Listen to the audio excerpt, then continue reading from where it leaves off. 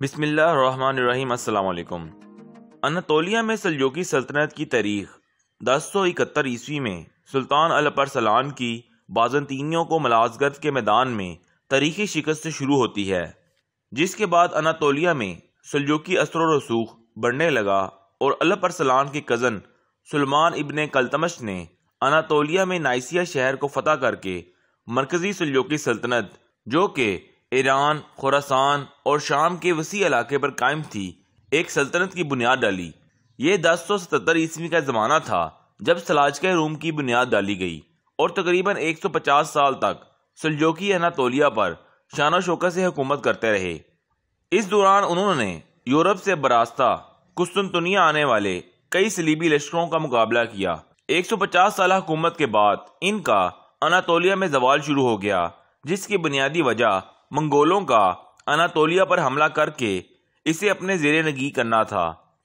سلطان علاؤ الدین کیکاباد اسی سلطنت کا بارہواں سلطان تھا، جس نے بارہ سو بیس عیسوی میں تخت حکومت سنبھالا اور بارہ سو سینتیس عیسوی میں اپنی موت تک تخت نشین رہا۔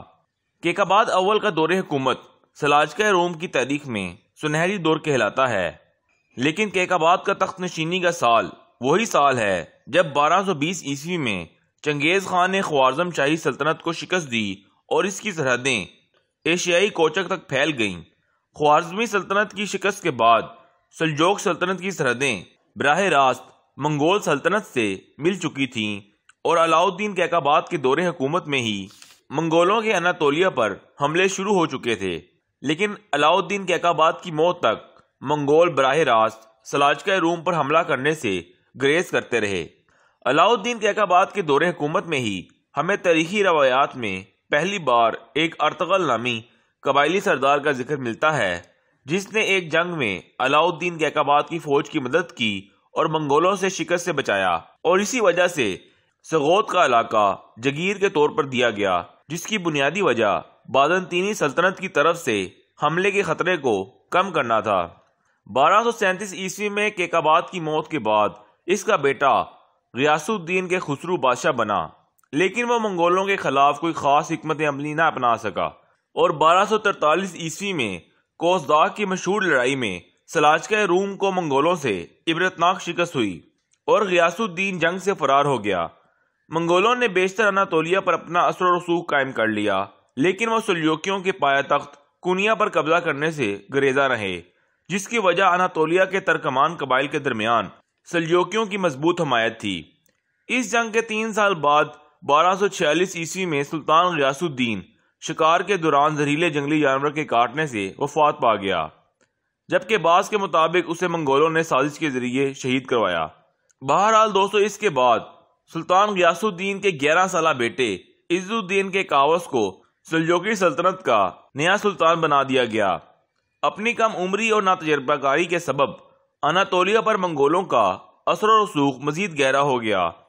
اس کے علاوہ عز الدین کے کاوس کو محلاتی سازشوں اور خانہ جنگی کے نتیجے میں اپنے دوسرے بھائیوں کلیچ ارسلان چہارم اور کیکاباد دوم کو سلطنت کے مختلف حصوں کا سلطان تقسیم کرنا پڑا اور یوں سلجوکی سلطنت، عمرہ اور محلاتی سازشوں کے نتیجے میں تقسیم ہو کر مزید کمزور ہو گئی۔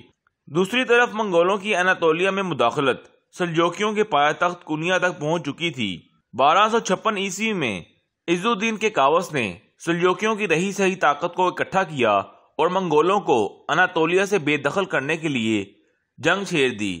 لیکن اس جنگ میں اسے شکست کا سامنا کرنا پڑا اور اس نے گولڈن ہارڈ کے حکمران برقع خان کی پاس پناہ لے لی، جس کے بعد اناتولیا پر عملن منگولوں کی حکمرانی قائم ہو گئی۔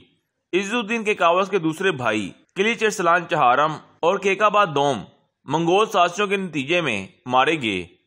اگرچہ عز الدین کے کاوس جلا وطن تھے، لیکن منگولوں نے ان کو اپنے اقتدار کے لیے خطرہ اور اناتولیا میں بغاوت کے ڈر سے ان کے بھائی کلیچ ارسلان چہارم کے کم عمر بیٹے ریاس الدین کے خسرو سوئم کو اناتولیا کا کٹ پتلی حکمران بنا دیا۔ اس طرح اناتولیا میں سلجوکیوں کے نام تلے منگولوں نے اپنی حکمرانی قائم کر لی۔ کہ خسرو سوئم بارہ سو پینسٹھ عیسوی سے بارہ سو چوراسی عیسوی تک کٹ پتلی سلطان رہا۔ بلا آخر منگولوں نے اس پر بغاوت اور غداری کا الزام لگاتے ہوئے اسے قتل کر دیا۔ اسی دوران بارہ سو اسی عیسوی میں جلا وطن سلجوکی سلطان عز الدین کے کاوس وفات پا چکے تھے، جبکہ ان کے بیٹے مسعود بن کے کاوس اناتولیا میں موجود تھے۔ منگولوں نے کہ خسرو سوئم کو قتل کرنے کے بعد اناتولیا میں بغاوت کا خطرہ محسوس کیا اور اناتولیا کے ترکمان قبائل کو مطمئن کرنے کے لیے عز الدین کے کاوس کے بیٹے مسعود بن کے کاوس کو نیا کٹ پتلی سلطان بنا دیا۔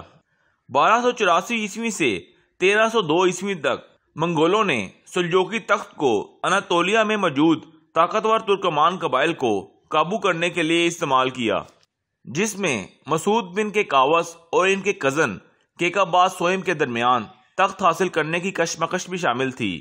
منگول بارہ سو چوراسی سے تیرہ سو دو عیسوی تک کبھی مسعود بن کے کاوس کو مزول کر کے کیکا سوئم کو سلطان بنا دیتے اور کبھی کیکا باز سوئم کو مزول کر کے مسعود بن کے کاوس کو اپنے مقاصد پورے کرنے کے لیے سلطان بنا دیتے۔ منگولوں کے اسی پلیسی سے اناتولیا میں سلجوکیوں کی مقبولیت میں خاصی کمی آ گئی اور کئی ترکمان قبائل بھی ان کے خلاف ہو گئے۔ انہی حالات کے دوران بارہ سو ننانوے عیسوی میں عثمان غازی نے سلجوکی سلطنت سے الگ ایک ریاست کی بنیاد رکھی، جسے دنیا آج سلطنت عثمانیہ کے نام سے جانتی ہے۔